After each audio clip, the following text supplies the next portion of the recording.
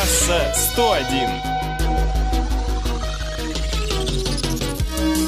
Приветствую, в эфире трасса 101.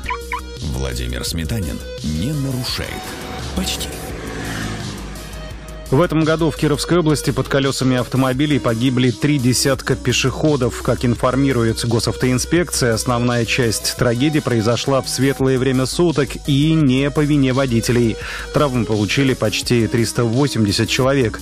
Среди погибших двое детей. Первый случай был в августе в Чистых прудах. Шестилетний мальчик после наезда на него машины скончался в больнице. Второй случай произошел 6 декабря в Малмышском районе. Мальчику было 5 лет. Трасса 101.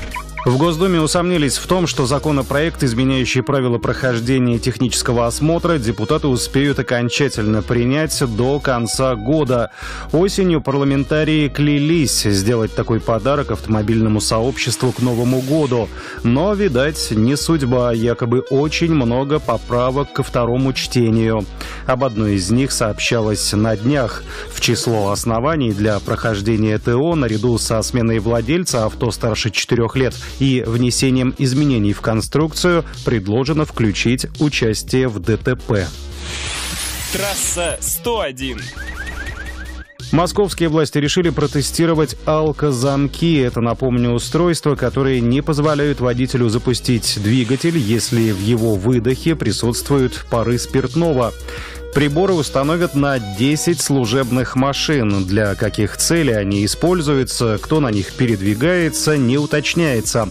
Если испытания пройдут успешно, то это может поспособствовать внедрению алкозамков, к примеру, в таксопарках или службах доставки.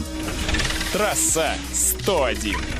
Россияне в этом году приобрели рекордное количество новых китайских машин. Речь идет о 103 тысячах авто. За весь 2020 было меньше в два с лишним раза.